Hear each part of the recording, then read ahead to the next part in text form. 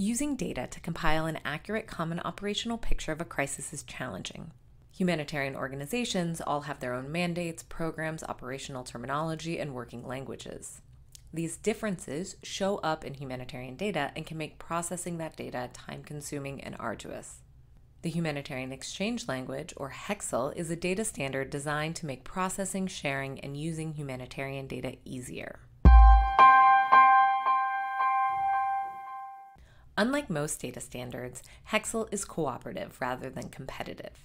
A competitive data standard typically considers the way you currently work with data to be a problem and starts with a set of demands switch to a different data format, change the information you share and the way your organization collects and uses that information, abandon what is valuable and unique about your organization's data, and conform to a common denominator.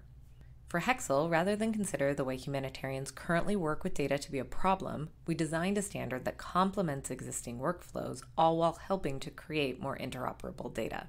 We did this by creating a standard that 1. works with existing tools, Two is simple to use and to learn. And three is flexible. Most humanitarian organizations use spreadsheets for data sharing, so we designed HXL to work with spreadsheets. To standardize a dataset, all you need to do is add a row to your spreadsheet between the header and the data values and add HXL tags to that new row.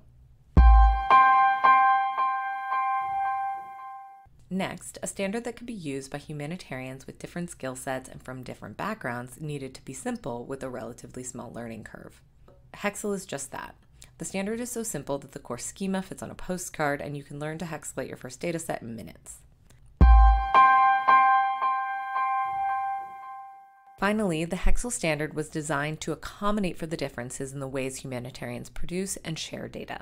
The core standard consists of hashtags and attributes that can be mixed and matched to label a wide range of common humanitarian data points.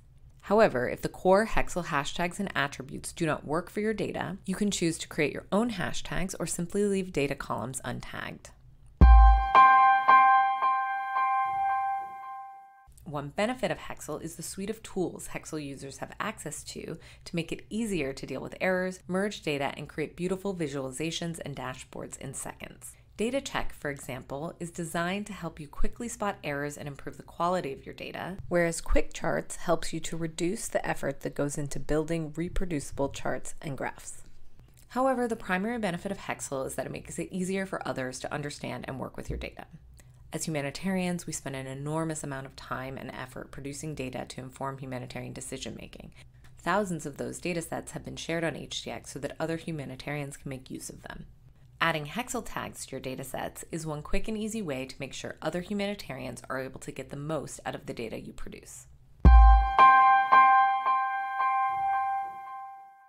In this Introduction to the Humanitarian Exchange Language video series, we will start by introducing you to the basic building blocks of the HXL standard, hashtags, and attributes, and then we'll take a closer look at some common types of humanitarian data and walk through how you can use HXL hashtags and attributes to describe them.